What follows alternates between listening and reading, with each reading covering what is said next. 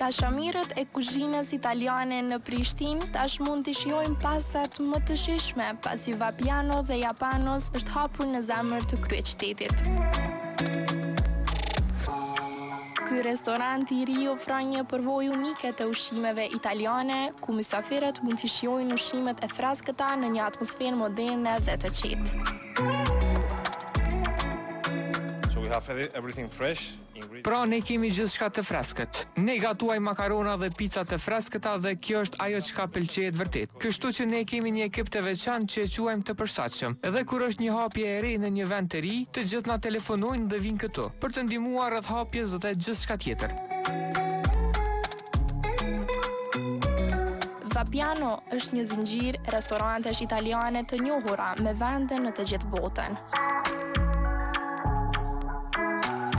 Koncepti i tyre përqendrohet në idenë e freskisë dhe cilësisë. Restoranti ofron gjithashtu një gamë opsionesh vegetarian, vegan dhe pa gluten, duke siguruar se ka diçka për të gjithë.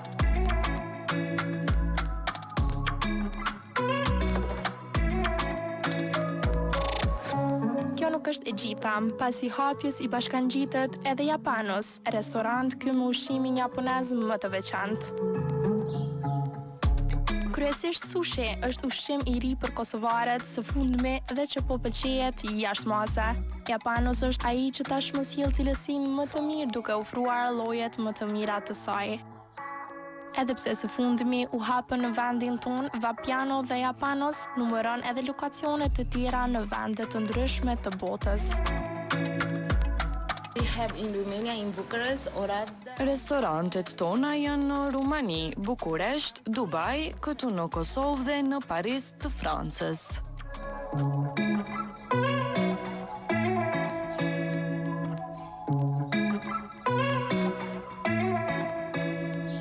Kulmi faleminderit shumë që je në studio. Faleminderit shumë për ftesën Shpend. Urime fillimisht që mori jetë gjithçka nga materiali që që pamë. Më thuaj pak si ishte hapja, a ishte emocion me e pa që më në fund po finalizohet?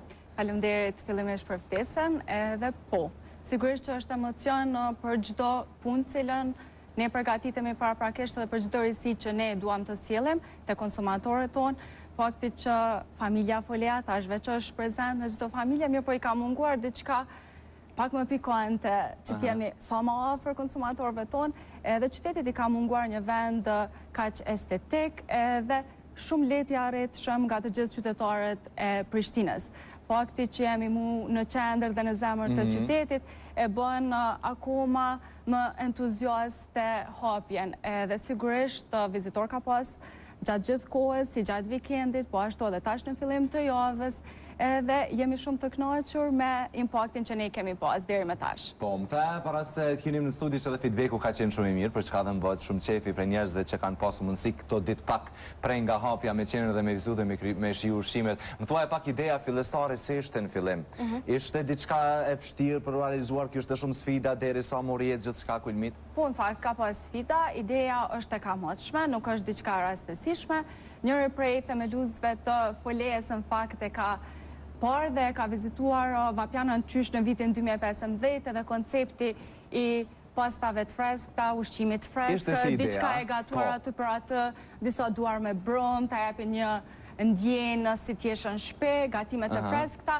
e ka impresionuar, ndërsa pse nuk është realizuar deri më tash fakti që licenca për sjelljen e Vapianos këtu i ka takuar një shteti tjetër, në fakt Serbisë për gjithë rajonin, dhe ne kemi pritur momentin e duhur kur Ne të marrim frenat në dorë dhe të jemi përgjegjës dhe të marrim të drejtën. Tani për momentin, ë, restoranti është i hapur vetëm në Prishtinë, mirëpo ne kemi të drejtën edhe për shtetet në rajon, në Shqipëri dhe Maqedoni, ku shumë shpejt, e them kështu Hajde. me gëzim, ë, do hapim pika të reja. Në rregull. Është një risi tani që po e them. Më bëni kurioz qysh tek, po besoj është herët me Është shumë herët. Është shumë herët. Mirëpo është në planet tona, kështu që Momentin që e kemi në plan, besoj që e kemi dëshmu që shumë shpejt e realizojmë. Unë po du në emër të stafit të Televizionit dhe të Gazetës Express, me ju falënderu që na bëtë ftesën para hapjes me qenë atje, me i shiju pak ushqimet, me pa ambientin, interierin, përderisa ende ishin tu bo përgatitjet finale të gjithë këtij projekti që për mendimin tim është shumë i madh dhe i është nevojitur shumë kryeqytetit. Më thuaj pak si si ishte mbase me me e gjetë lokacionin ideal. Thash para se me hy në studio që lokacioni është ideal, në mes të Prishtinës. Pak më parë e përmenda njërin prej themeluesve të Folejës, që ngjan të jetë edhe njëri prej udhëheqësve të kompanisë Kujtesa, edhe lokacioni ka qenë fiks në zemër të qytetit. Kështu që ideja për të marrë atë lokacion dhe për të hapur Vapiano dhe mos harrojmë edhe restorantin Japanos aty, ka qenë pikërisht e tij. Duke parë fluksin, vizitorët e qytetit, lokacioni është perfekt. Është i arritshëm për të gjithë, qoftë për një drekë, qoftë për një mëngjes të lehtë, për një kafe mëngjesi ose për një darkë me shoqëri, është shumë për mendimin tim dhe besoj që të gjithë qytetarëve, është shumë i përshtatshëm. Ne kur ishim si staf i shijuam dhe u impresionuam realisht nga nga ushqimi dhe nga shija e tyre dhe kur postova në rrjetet sociale shumë prej ndjekësve ishin shumë të lumtur që ka ardhur më në fund në Kosovë sepse e kam shijuar jashtë vendit më në fund e kemi edhe në mhm. Kosovë. Pat ndonjë koment tek ty ose këto ditë sa ishin njerëzit duke shijuar ushqimet që t'la përshtypje ndonjë koment, ndonjë po, feedback interesant kulmit? Në fakt, ideja ka qenë që ne të sjellim Një copëz të Italisë, po ashtu të kombinojmë me një copëz të Japonisë, zakonisht kur vizitojmë vendet edhe kur shijojmë mhm. ushqime të ndryshme, se në fakt ushqime është kulturë dhe traditë një, një vendi. Mendojmë se mos sjellim pak një copëz edhe në vendin tonë, që të mhm. kemi mundësinë të shijojmë çdo ditë. Kështu që, uh, çka është më rëndësishme është sepse e gjithë menyja, kryesisht edhe përbërësit të gjithat importohen nga jashtë. Edhe vakti i cili servohet në Vapiano apo në Japanos është i njëjtë, kudo që mund ta hani edhe në shtetet tjera. Mhm. Kështu që kjo është ideja, që vetëm lokacioni është i ndryshëm, mirëpo pjatat dhe menyja është identike. 90% e menysë së Vapianos është në Kosovë. Po, mirëpo 10 përqindësh i bën nder edhe kuzhinës apo pjatave tradicionale, të cilat shumë shpejt do t'i shtohen menysë. Me këtë që po ma thua, gjithë adhuruesit e Vapianos kanë mundësi që të njëjtën cilësi ta shijojnë edhe në Prishtinë. Po, po, po. Pikërisht, nëse dikush veçse i ka provuar pastat, picat, të cilat janë specialitet autentik i kuzhinës italiane, besoj që nuk do ketë asnjë dallim në momentin kur e provon edhe e shijon edhe në restorantin tonë në Prishtinë. Ë të gjitha aparaturat, makineritë, përbërësit, mm -hmm. e thashë edhe më herët, uh, janë të importuara. Edhe uh, përbërja, përgatitja e brumit, e salcave, të gjithat janë homemade. Kështu që nuk besoj që ka ndonjë dallim. Edhe kjo është çka neve na bën më të lumtur, Pos asaj, të gjithë adhuruesit e ushqimit e kanë mundësinë që të shohin përgatitjen në një kuzhinë të hapur. Dhe në rast se diçka mungon në menynë tonë, pavarësisht që është mjaft e pasuruar dhe ka lloje të mjaftueshme të pastave dhe të picave, mund të zgjidhni, mund të ndërtoni një picë sipas preferencave tuaja personale, të ndërtoni një pjatë pastash me salca që dëshironi, çka dëshironi të shtoni, kështu që kjo është e veçanta e Vapianos. Okej.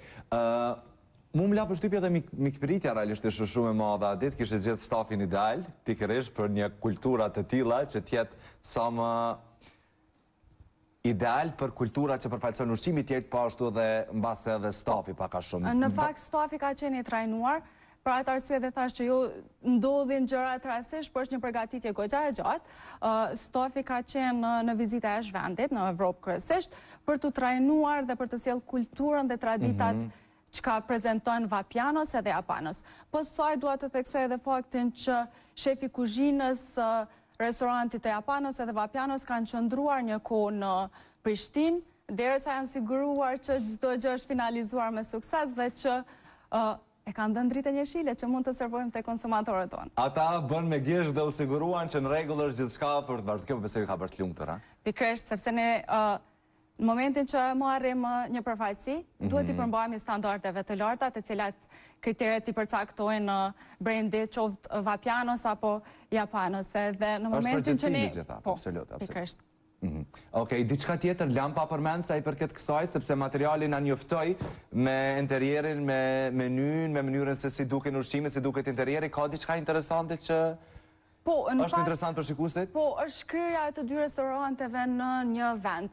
Kuzhina italiane, kuzhina autentike japoneze, shpesh herë na ndodh që jo të gjithë kemi preferencat e njëjta, jo në shtëpi, jo në shoqëri, mhm. kështu që kur ftojmë një mik apo dikë për të ndarë një darkë apo një drekë, Nëse kemi preferenca të ndryshme, të dy palët mund të jemi të kënaqur. Mundem me gjetë veten që. Mundemi m'u ulë në Vapiano dhe të porosisim nga Japanos. Ky kombinim besoj që është një benefit për të gjithë.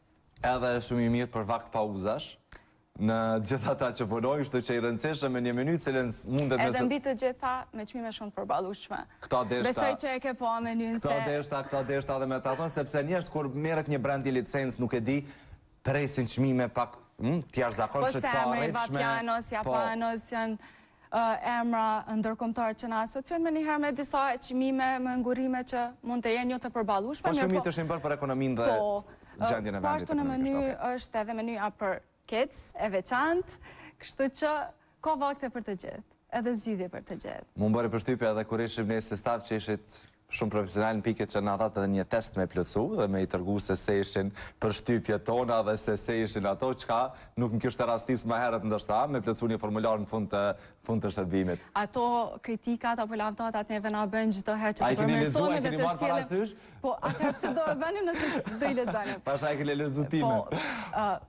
Të gjitha. Okej. Ka pas vizitorë goxha shumë, kështu që një ndër review-t ka qenë edhe jotja, po çdo kritikë është e mirëseardhur sepse neve na ndihmon që të përmirësojmë kualitetin e shërbimit, produktit dhe çdo gjë tjetër.